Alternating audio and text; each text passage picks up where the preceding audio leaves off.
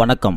நான் உங்கள் குணசேகரன். இந்த பதிவில் ஒரு கொலை செய்த நபருக்கு எதிராக அரசு தரப்பு சாட்சியங்களின் வாக்குமூலங்களை நீதிமன்றத்தில் முறையாக அளிக்காமல் செய்த சிறு தவறு கூட வழக்கின் தன்மையை எப்படியெல்லாம் புரட்டி போடுகிறது என்பது பற்றி பார்ப்போம். வழக்கு எண் அறுநூத்தி முப்பது பார் இரண்டாயிரத்தி ஒன்பது. கன்பத் சிங் எதிர் மத்திய பிரதேச மாநில அரசு என்ற வழக்கு ஒன்று உச்சநீதிமன்றத்தில் நீதியரசர்கள் திரு எஸ் வி ரமணா மற்றும் திரு சந்திராசூட் ஆகியோர் முன்னிலையில் குற்றவியல் மேல்முறையீட்டு வழக்காக வந்தது. இந்த மேல்முறையீடானது இரண்டாயிரத்தி ஏழாம் ஆண்டு மார்ச் மாதம் இருபத்தி இரண்டாம் நாள் வழங்கப்பட்ட மத்திய பிரதேச உயர்நீதிமன்றத்தின் தீர்ப்பிலிருந்து எழுகிறது. உயர்நீதிமன்றம் இந்திய தண்டனை சட்டம் பிரிவு முன்னூற்றி இரண்டின் கீழ் மேல்முறையீட்டாளர்கள் செய்த குற்றத்திற்கான தீர்ப்பை உறுதி செய்தது. சாந்தாபாய் என்பவர் ஒரு விதவை. அவருடைய கணவர் சுமார் பத்து ஆண்டுகளுக்கு முன்னர் இயற்கையாக மரணமடைந்து விட்டார்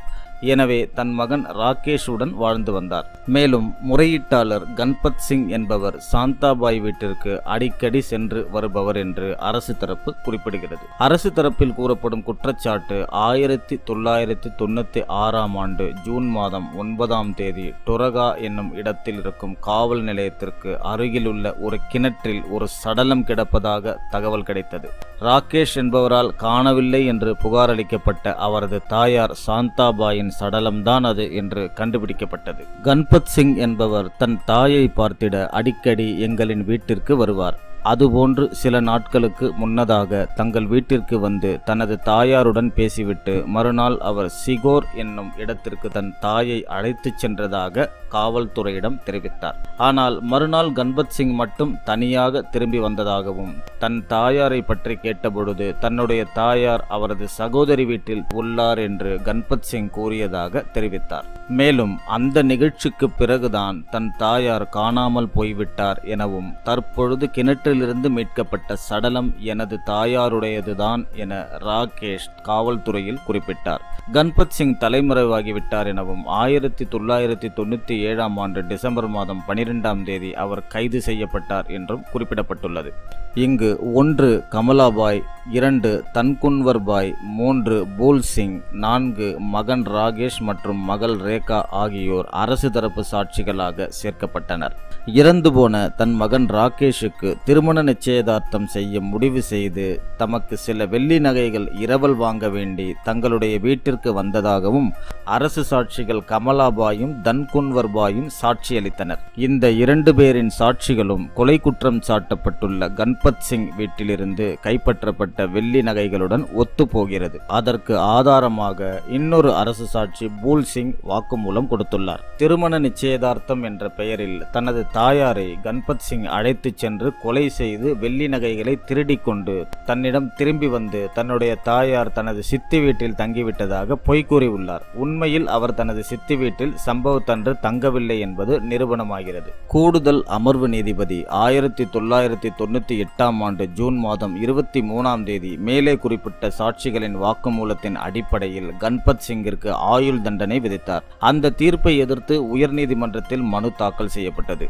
குற்றம் சாட்டப்பட்ட கன்பத் சிங்கின் வீட்டிலிருந்து மூன்று வெள்ளி நகைகள் மட்டும் கைப்பற்றப்பட்டுள்ளது. அவைகள் அரசு சாட்சி ரேகா தனது தாயாரின் நகைகள் என அடையாளம் காண்பித்தார். ஆனால் இங்கு இரவல் கொடுக்கப்பட்ட நகைகள் ஏன் அடையாளம் காட்டப்படவில்லை என்பதை பற்றி அரசு தரப்பு எந்தவித விளக்கத்தையும் அளிக்கவில்லை. மேலும் மகள் ரேகா முதலில் அந்த வெள்ளி நகைகள் தன்னுடையது என்று வாக்குமூலம் கொடுத்துவிட்டு பிறகு மாற்றி அவைகள் தனது தாயாருக்கு சொந்தம் என தவறாக வாக்குமூலம் கொடுத்துள்ளார். அரசு தரப்பில் கன்பத் சிங் தான் சாந்தாபாயை கொலை செய்ததை ஒப்புக்கொண்டதாக கூறப்பட்டுள்ளது. ஆனால் குற்றவியல் நடைமுறை சட்டப்பிரிவு நூற்றி அறுபத்தி ஒன்றின் கீழ் அத்தகைய வாக்குமூலம் நீதிமன்றத்தில் சமர்ப்பிக்கப்படவில்லை. இருப்பினும் உயர்நீதிமன்றம் இறந்துவிட்ட சாந்தாபாய் எதிரி கன்பத் சிங்குடன் கடைசியாக வீட்டை விட்டு புறப்பட்டிருக்கிறார். கன்பத் சிங் இறந்துவிட்ட சாந்தாபாய் மகனிடம் அவரது தாயார் சித்தியின் வீட்டில் இருப்பதாக பொய்யுரைத்துள்ளார். இறந்துவிட்டவரின் உடல் குற்றம் சாட்டப்பட்ட கன்பத் சிங்கின் தகவலின் பேரில் கிணற்றிலிருந்து கைப்பற்றப்பட்டுள்ளது என்ற இந்த மூன்று ஆதாரங்களின் அடிப்படையில் மேல்முறையீட்டை தள்ளுபடி செய்து சிறை தண்டனையை உறுதிப்படுத்தியது. இந்த நிலையில்தான் உச்சநீதிமன்றம் உயர்நீதிமன்றம் விசாரணையில் செய்த சில தவறுகளை வெளிப்படுத்தியது. அதாவது இறந்துவிட்ட சாந்தாபாய் என்பவர் கமலாபாயையும் தன்குன்வர் பாயையும் சென்று பார்த்துள்ளார்.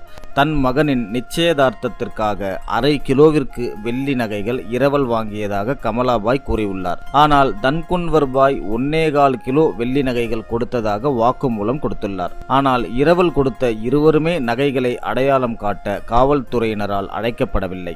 மேலும் சாந்தாபாயின் மகள் ரேகா விசாரணையின் போது முன்னுக்கு பின் முரணாக நகையை பற்றி வாக்குமூலம் கொடுத்துள்ளதை விசாரணை நீதிமன்றமும் உயர் நீதிமன்றமும் கருத்தில் கொள்ளவில்லை. இறந்தவரின் உடல் குற்றம் சாட்டப்பட்ட கன்பத் சிங் கொடுத்த தகவலின் பேரில் கிணற்றிலிருந்து மீட்கப்பட்டது என்று விசாரணையில் குறிப்பிடப்பட்டுள்ளது. தலைமறைவாக இருந்த குற்றவாளி எப்படி இந்த தகவலை காவல் நிலையத்திற்கு அளித்திருக்க முடியும் என்ற முக்கியமான பிழையை ஏன் உயர்நீதிமன்றம் கவனிக்க தவறியது என உச்சநீதிமன்றம் கேள்வியை எழுப்பியது. சரத்பிந்தி சரத் சந்தா எதிர் மகாராஷ்டிர மாநில அரசு ஆயிரத்தி தொள்ளாயிரத்தி எண்பத்தி நாலு மற்றும் ராமரெட்டி ராஜேஷ் கண்ணா ரெட்டி எதிர் ஆந்திர பிரதேச அரசு இரண்டாயிரத்தி ஆறு மற்றும் போத்ராஜ் என்கின்ற போதா எதிர் ஜம்மு காஷ்மீர் மாநில அரசு இரண்டாயிரத்தி இரண்டு போன்ற பல வழக்குகளின் தீர்ப்பின் அடிப்படையில் உச்சநீதிமன்றம் சாட்சிகளின் தவறான வாக்குமூலத்தின் அடிப்படையிலும் தலைமறைவாக இருந்த கன்பத் சிங் தான் இறந்துவிட்ட சாந்தாபாயின் உடல் எங்கே இருக்கிறது என்று கூறினார் என்ற தவறான தகவல் குறிப்பின் அடிப்படையிலும் மேல்முறையீட்டை அனுமதித்து இந்திய தண்டனை சட்டப்பிரிவு முன்னூற்றி இரண்டின் கீழ் நீக்கரவு செய்யப்படுகிறது.